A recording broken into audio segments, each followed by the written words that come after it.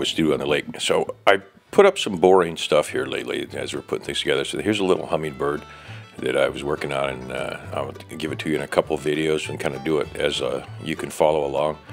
And uh, pretty much one side of him's done. I only had one glass eye, but uh, hey, enjoy the ride here. So here's two pieces of basswood. They're uh, little pieces that came off the end. That's a good reason to show you to save all your little scrap pieces because you can always make something uh, small out of it. So I'm taking an old hummingbird that I have uh, here and uh, I pulled his beak out. I had him stuck in a, a, group of about six or eight, so I pulled him off. So I mark out the, the wing, I mark out the body of this guy, and I've been making pretty much this same style for many, many years. No bandsaw and no word on when it's coming, so here we go. Uh, the old school way, and this has got a pretty fine blade in it. It's quite painful to watch, so I zoomed ahead a little bit on that and uh, this will probably be three videos, maybe four as we go along. So to get rid of a lot of the extra wood, I just went ahead and used the splitting property of wood. It's obviously a little bit too thick, so rubber hammer and a chisel and a block of wood and split it so that uh, it's about the right width.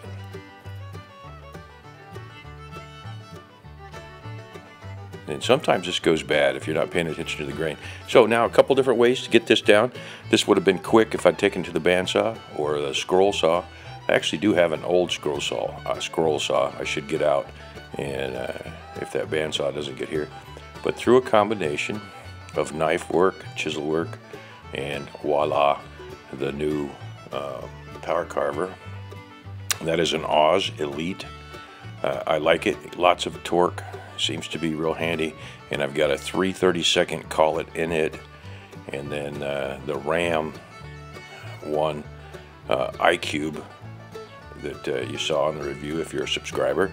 If you're not, uh, uh something you might be interested in, feel free to subscribe. That helps the channel out. And uh, go back and check out. There's probably 150, 175 videos on there, some better than others. So right now I'm still doing the hard part which is getting the blank down uh, to size. And basically this is a two-dimensional piece.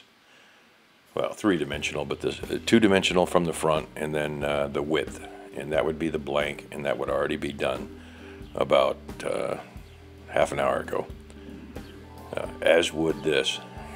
So switching back and forth, power carver, knife, that's a Ramelson knife. Uh, it is finely sharp. I got the, uh, the new sharpening equipment in, or my old standard, which are diamond uh, stones or slicks. They're kind of uh, interesting shapes. They're for uh, they got you can do chisels on them, all kinds of stuff because they're concave and go all different directions. So uh, always marking out your reference lines. This body on this one, I kind of wanted him to twist around. And uh, if you watch a hummingbird, at a feeder, there they never fly straight.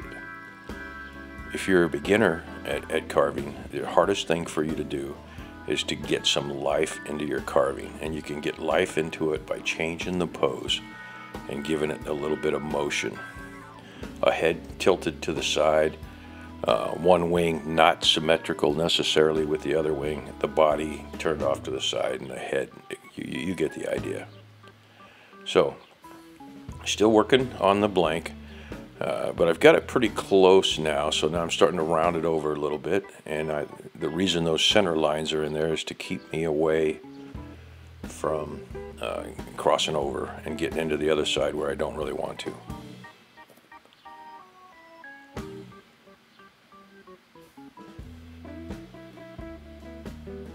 So here I'm going to thin the neck down just a tad.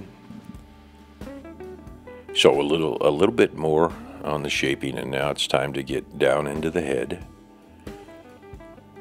And the head uh, is what makes him come alive. So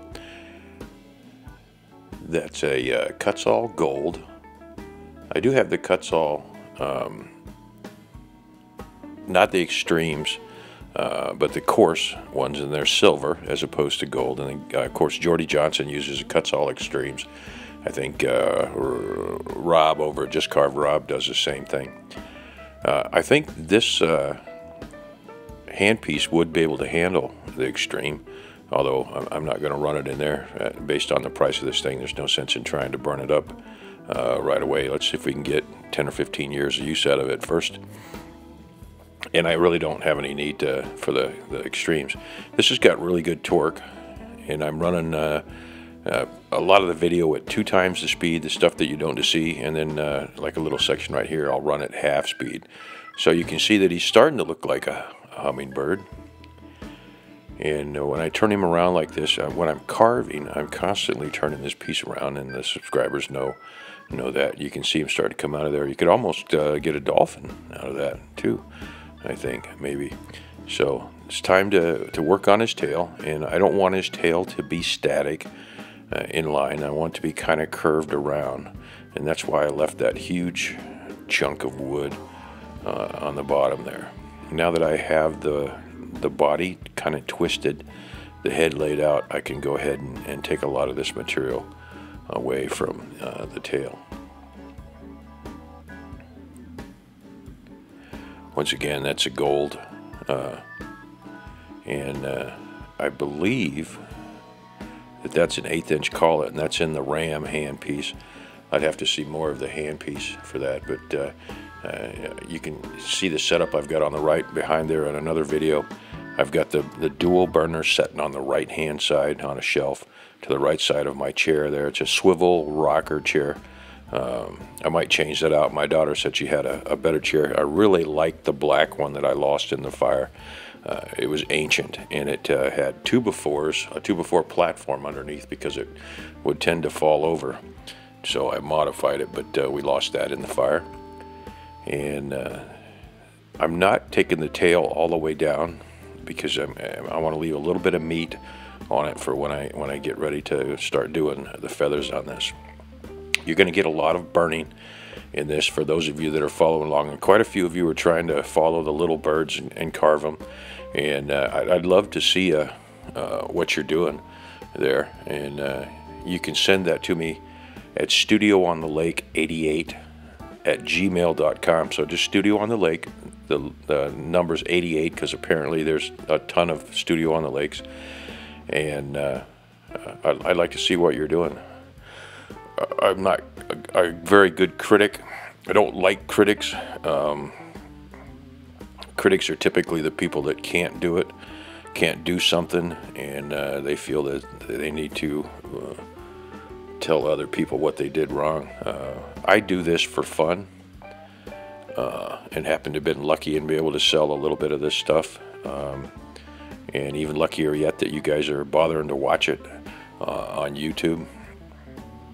And I'm just glad to share how I'm doing it and how it's done uh, for those of you that are interested. And so, uh, many of you probably have no intention of ever carving anything. They just like to watch uh, the thing as it progresses. And uh, I'm certainly that way on a lot of things. I'll get mesmerized by something on YouTube and uh, spend several hours watching uh, the stuff that goes on. So we're still working the body down. I, am about ready to put a, a, line on the side. So I've got four lines uh, in, in the two dimensions or three dimensions and, and, and I don't mess him up. Now I'm still working, working the head down a little bit. These are, again, not uh, anatomically correct if you were to do a hummingbird, and I have from a strict pattern that was pulled off uh, of a picture, they'd look they wouldn't quite look right uh, for some reason. When you, you get all the details correct without seeing the splendor of the whole thing, uh, they don't look quite right. And I've talked about this before. So, uh, and the second thing is I, I don't want to paint this. I want to leave it burned and uh, let the burning uh, speak for itself. It's kind of a thing that I do. And of, of, course, you're welcome to copy that anything that I do. I didn't come up with any original ideas on any of this stuff. I look at stuff that other people have done. Uh, I look at things that they're doing, and uh, then I, I, give it a shot.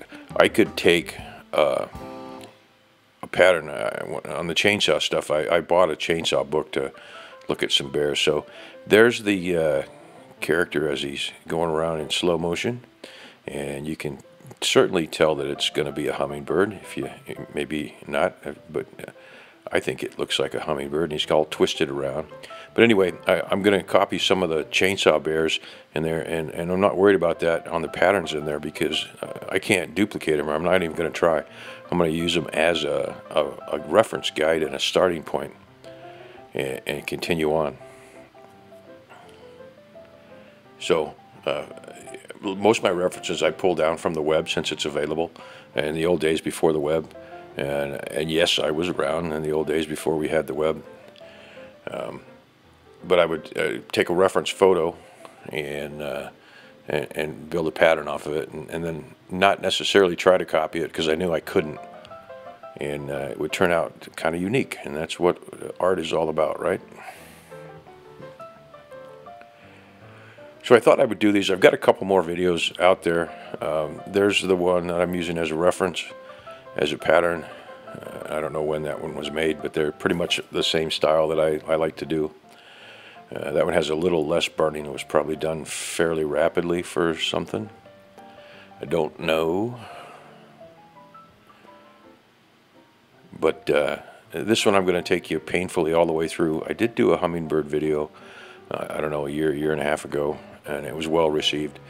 Uh, so I, I, thought rather than, than bore you with a lot of the stuff that I'm getting in and that sort of thing, I'd show you that. But I do have a couple more videos uh, to edit while I'm down here this week in Iowa and uh, one of them is repairing Spirit Man who was in the fire, and for some reason solder, uh, I think solder, uh, got dripped down onto him, and uh, it embedded in the lines, and I'll show you. That's kind of interesting. So I go through and, and carve that stuff out. And, uh, and, and salvage him and, and get him back in in shape so that he can go down to the gallery.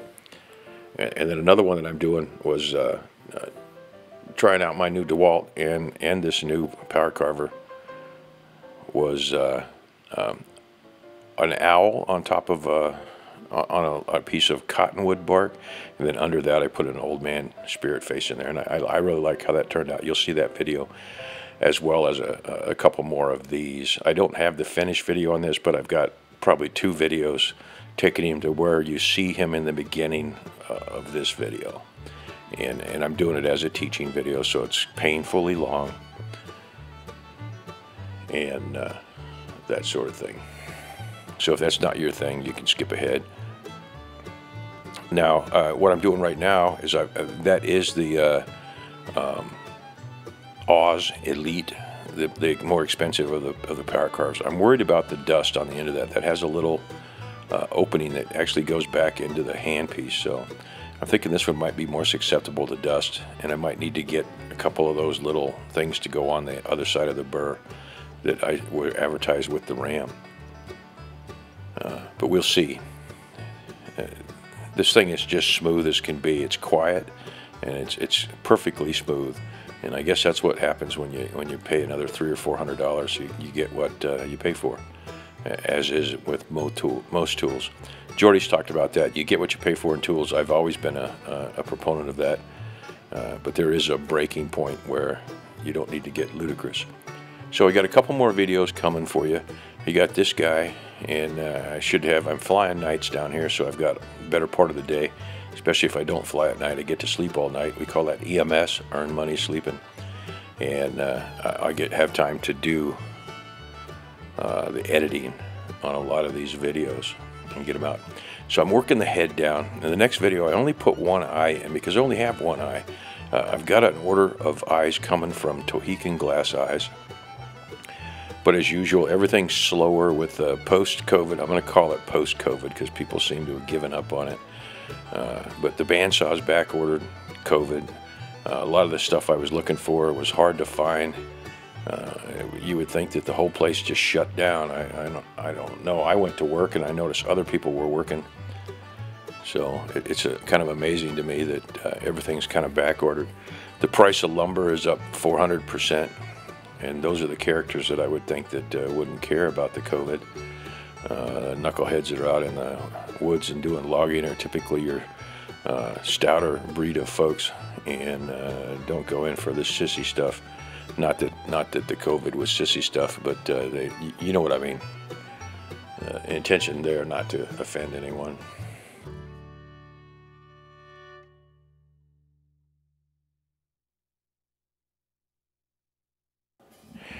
So that uh, that handpiece um, has a ruby bit in it. I showed uh, in another video the ruby bits. Uh, probably one of my favorites. This is the flame, the larger flame, and then I run a smaller flame also. So we're getting ready to come up to the end of this video where I decided to cut this one.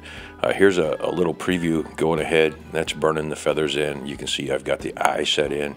The beak is going to be a piece of wire or a nail. I haven't decided, just like I do on all of them, because if it's wood, it tends to break off. So I'll see you on the next one. I got a couple more videos coming out, so like, subscribe. And uh, by all means, leave me a comment. Hey, thanks a lot. This has been Ben with Studio on the Lake.